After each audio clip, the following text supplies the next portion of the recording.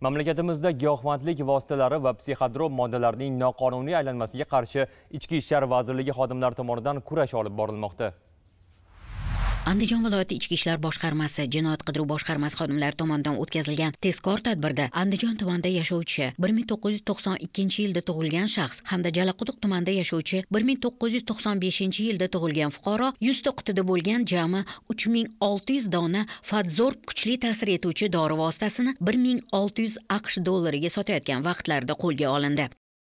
Tizim vakillari tomonidan andijon shahri hududida o'tkazilgan navbatdagi tezkor tadbir davomida esa andijon shahrida yashovchi bir ming to'qqiz yuz to'qson to'qqizinchi yilda tug'ilgan fuqaro jinoiy sherigi bilan hamkorlikda olti butun o'ndan sakkiz gramm opiy giyohvandlik moddasini bir million so'mga pullayotgan vaqtida jinoiy faoliyatiga chek qo'yildi. Shuningdek qo'lga olingan fuqaroning cho'ntagida uch dona tropikamid va to'rt dona tramadol kuchli ta'sir etuvchi dori vositalari borligi ma'lum bo'ldi. Yana bir holat andijon shahrida yashovchi bir ming to'qqiz yuz sakson sakkizinchi yilda tug'ilgan fuqaro ikki butun o'ndan sakkiz gramm gashish giyohvandlik moddasini besh yuz oltmish ming so'mga sotayotganida ushlandi. Ushbu shaxsga tegishli kiyimlar ko'zdan kechirilganda esa cho'ntagida sakkiz butun o'ndan bir gramm gashish giyohvandlik moddasi borligi aniqlandi.